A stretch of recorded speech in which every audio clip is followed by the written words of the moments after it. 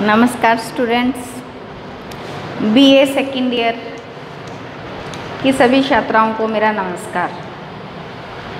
Students हमारा topic चल रहा था ब्रिटिश पार्लियामेंट ब्रिटिश पार्लियामेंट में हमने किया था प्रथम सदन house of common house of common की रचना हमने पिछले लेक्चर में कर ली थी।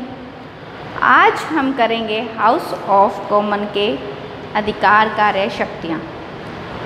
देखिए स्टूडेंट इसमें प्रश्न इस प्रकार से बनेगा कि स्पष्ट करें, ब्रिटेन का प्रथम सदन विश्व का सर्वाधिक शक्तिशाली सदन है।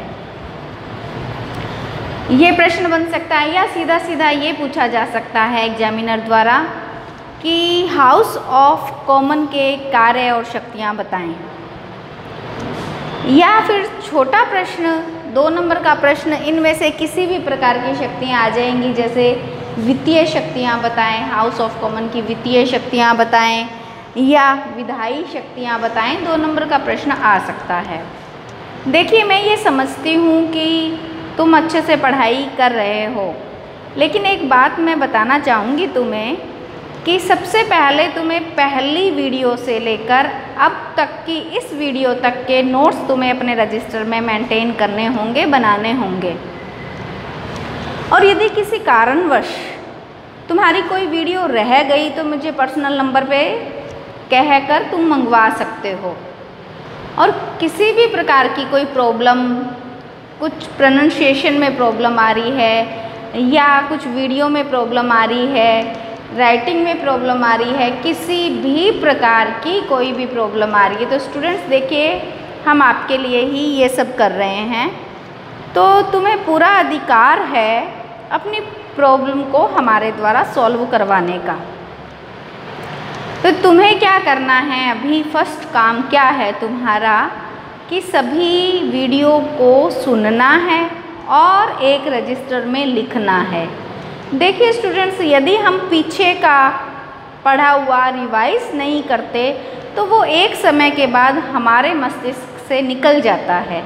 और यदि हम रिवाइज करते हैं तो हमें पूरा का पूरा ध्यान में रहता है, दिमाग में रहता है, और थोड़े समय बाद में वो हमसे बहुत ही परिचित हो जाता है। तो मेरा आपको ये पर्सनल सजेशन है कि हर वीडियो को सुने वीडियो बीच में मिस ना करें और सुनने के बाद में एक रजिस्टर में ये सब बातें भी यदि तुम लिख लेती हो, जो मैं बोलती हूँ तो भी तुम्हारा बहुत अधिक कार्यभार कम हो जाएगा। तो इसी के साथ में आज का हमारा टॉपिक हम शुरू करते हैं। हाउस ऑफ़ कॉमन या ब्रिटेन का प्रथम सदन, लोक सदन के अधिकार व कार्य।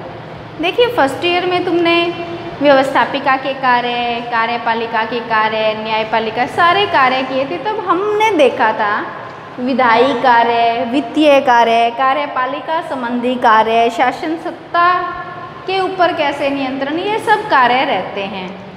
तो वही कार्य हाउस ऑफ़ कॉमन के हैं, जो हमारे यहाँ पे लोकसभा के हैं। क्यों? क्योंकि हमने ब्रिटिश पार्लियामेंट का ही सिस्टम लिया है। हमारे यहाँ पे भी पार्लियामेंट्री सिस्टम है, संसदीय शासन व्यवस्था है और उसमें प्रथम सदन जो है वो अधिक पावरफुल होता है। हमने कल बात की थी। ब्रिटेन की पार्लियामेंट के दो सदन है। पहला सदन प्रथम सदन हाउस ऑफ़ कॉमन और दूसरा सदन हाउस ऑफ़ लॉर्ड है। तो तुम्हें देखो स्टूडेंट्स इस बात का पता होना चाहिए कि हाउस ऑफ़ कॉमन विश्व का सबसे शक्तिशाली सदन है। तो विश्व का सबसे शक्तिशाली सदन कौन सा है? हाउस ऑफ़ कॉमन तो शक्तिशाली है, गौरवमयी है, सबसे अधिक प्राचीन है। तो विश्व का सबसे अधिक प्राचीन सदन है, गौरवशाली सदन है, और इसके साथ साथ में प्राचीन सदन है। तो आज हम ये कर रहे हैं कि जो विश्व का सबसे अधिक शक्तिशाली सदन है, उसके पास में क्या क्या शक्तियाँ हैं। तो देखिए स्टूडेंट्स, पहली शक्ति है विधायी शक्तियाँ। तो विधायी शक्तियाँ, विधायी यानी विधि संबंधी शक्तियाँ। विधि शक्तियों में क्या होगा कि कानून निर्माण संबंधी शक्तियाँ आएँगी। कानून निर्माण संबंधी शक्तियाँ। कानून का जो निर्माण जो सदन कर सकता है, वो किसी भी कानून को रद्द भी कर सकता है, किसी भी कानून में परिवर्तन भी कर सकता है। विधायी शक्तियों में कानून संबंधी शक्तियाँ आती है, जो कि एक संसद का सबसे महत्वपूर्ण अधिकार या कार्य होता है, शक्ति होती है। देखिए स्टूडेंट्स 1911 और उन्नीस सौ उनचास के संसदीय अधिनियम से पहले कानून निर्माण का कार्य लॉर्ड सभा और लोक सदन मिलकर किया करते थे। लेकिन 1911 और उन्नीस सौ उनचास के संसदीय अधिनियम के बाद में जो कानून निर्माण का कार्य है, उसमें अंतिम शक्ति लोक सदन के पास आ गई, हाउस ऑफ़ कॉमन एचओसी के पास में आ गई। अभी होता क्या है? लॉर्ड सभा के पास में तो उन्नीस सौ उनचास और 1911 के अधिनियम के बाद में शक्तियाँ नहीं रह गई तो क्या होता है? देखिए, किसी भी विधेयक को जब हाउस ऑफ़ कॉमन लॉर्ड सभा के पास में भेजता है विधेयक को पारित करने के लिए तो होता क्या है? यदि लॉर्ड सभा उस विधेयक को अस्वीकृत कर देता है तो वह पुनः पारित होने के लिए लोक सदन के पास जाता है। लोक सदन में जब जाता है, दूसरी बार लोक सदन उसे पारित करने के लिए भेजता है तो द्वितीय और तृतीय वाचन, दो वाचन, द्वितीय और तृतीय वाचन की तिथि के बीच में यदि एक वर्ष का समय बच जाता है, एक समय का, एक वर्ष का समय पूरा हो जाता है तो लोकसभा की स्वीकृति के बिना ही वह जो विधेयक होता है, वह दोनों सदनों से पारित हो गया होता है। पारित हुआ समझा जाता है। अर्थात अब वह विधेयक का जो प्रस्ताव है, वह लोक सदन से ही दोनों सदनों में समझा जाता है कि सभा ने भी पारित कर दिया है। इस प्रकार हमने देखा कि लॉर्ड सभा केवल किसी विधेयक को एक वर्ष के लिए विलंब कर सकती है, रोक सकती है। केवल लॉर्ड सभा एक वर्ष के लिए रोक सकती है, बल्कि दोनों सदनों में पारित हुआ समझा जाता है। उसके बाद में हमारा जो लोकसभा हाउस ऑफ़ कॉमन का द्वितीय शक्तियाँ हैं, वो है वित्तीय शक्तियाँ। देखिए, स्टूडेंट्स, वित्त विधेयक केवल हाउस ऑफ़ कॉमन में ही लाए जाते हैं, प्रस्तावित तो होते हैं। वो कभी भी किसी भी कंडीशन में लॉर्ड सभा में नहीं लाए जाते, जैसे हमारे यहाँ पे लोकसभा में लाए जाते हैं राज्यसभा में नहीं, वैसे ही यहाँ पे लोक सदन में ही लाए जाते हैं। लॉर्ड सभा के पास क्या अधिकार है? लॉर्ड सभा केवल एक माह तक उस पर विचार कर सकती है। और यदि विचार करती है लॉर्ड सभा तो वो जैसा भी बोलती है, वो हाँ या ना तो एक माह बाद दोनों सदनों में, लॉर्ड सभा में भी और लोकसभा में भी, दोनों सदनों में उसी रूप में, उसी रूप में पारित हो जाता है, जिस रूप में हाउस ऑफ़ कॉमन में आया था।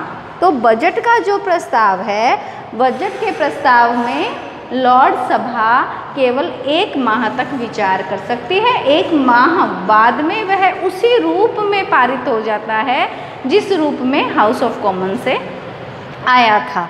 अभी देखिए स्टूडेंट्स तुम्हें कुछ अंदाज़ा हो गया होगा कि हाउस ऑफ़ कॉमन की पावर अधिक है हाउस ऑफ़ लॉर्ड की पावर कम है। देखिए स्टूडेंट्स हमें, हमने ये देखना है कि ब्रिटिश पार्लियामेंट में शक्तिशाली सदन कौन सा है? फिर नेक्स्ट प्रश्न आएगा कि लॉर्ड सभा के कार्य और शक्तियाँ बताइए। तो यहाँ पे ही उस प्रश्न को देखते हैं कि लॉर्ड सभा की कार्य और शक्तियों में ये आ जाएगा। विधायी शक्तियाँ लॉर्ड सभा की क्या है? एक वर्ष तक के लिए विधेयक को रोक सकती है। उसके अलावा वित्तीय शक्तियाँ लॉर्ड सभा की क्या आएगी? लॉर्ड सभा में एक माह तक विचार किया जा सकता है। उसके बाद में हम कर रहे हैं लोक सदन की शक्तियाँ। देखिए, कार्यपालिका शक्तियाँ क्या क्या है? कार्यपालिका के अंतर्गत कौन कौन आते हैं? मंत्री परिषद मंत्री परिषद मंत्रिमंडल। मंत्री परिषद और मंत्रिमंडल जो है, उनसे वो मंत्री परिषद पार्लियामेंट के फ़र्स्ट जो सदन होता है, उसके प्रति उत्तरदायी होता है। कैसे? मंत्री को पार्लियामेंट के सदस्य अर्थात सांसद लोक सदन के सदस्य, मुख्यतः लोक सदन के सदस्य प्रश्न पूछ सकते हैं और पूरक प्रश्न पूछ सकते हैं, काम रोको प्रस्ताव ला सकते हैं, अविश्वास प्रस्ताव ला सकते हैं निंदा प्रस्ताव ला सकते हैं। उसके अलावा इस, इन कार्यों के द्वारा मंत्रिमंडल को पदच्युत किया जा सकता है, पद से हटाया भी जा सकता है। किसके द्वारा? लोक सदन के द्वारा। अभी कार्यपालिका संबंधी शक्ति के बाद है, शासन सत्ता को मर्यादित रखना। देखिए स्टूडेंट्स इतना अधिक जो कार्य है, वह कार्य अपना है लोक सदन का।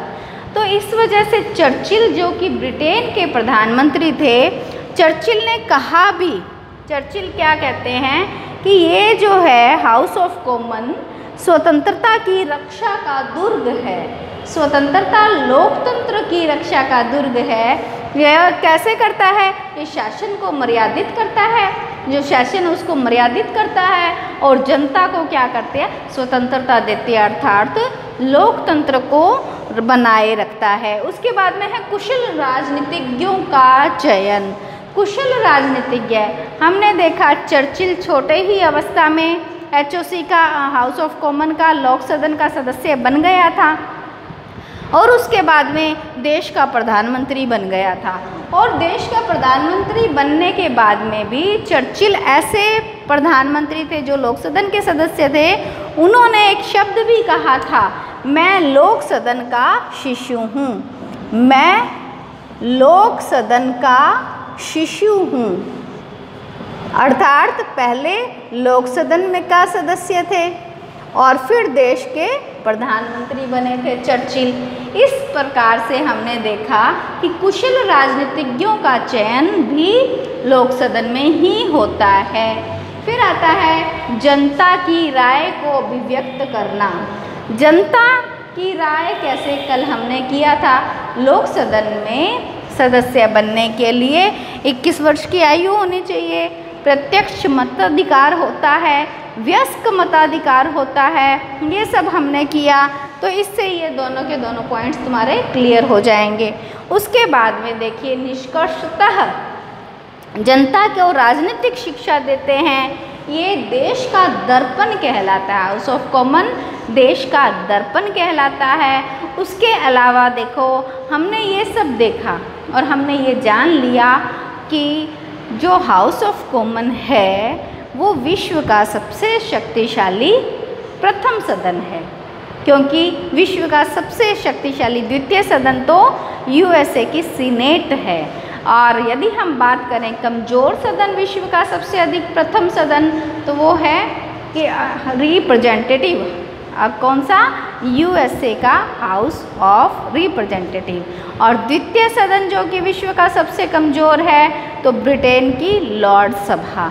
अब हम निष्कर्ष में ये कह सकते हैं कि ब्रिटेन का हाउस ऑफ़ कॉमन सर्वाधिक प्राचीन है संसार का और सर्वाधिक शक्तिशाली है और सर्वाधिक गौरवमयी सदन है। इसका स्क्रीनशॉट ले लें। किसी भी प्रकार की कोई भी प्रॉब्लम आती है तो मुझसे शेयर करें।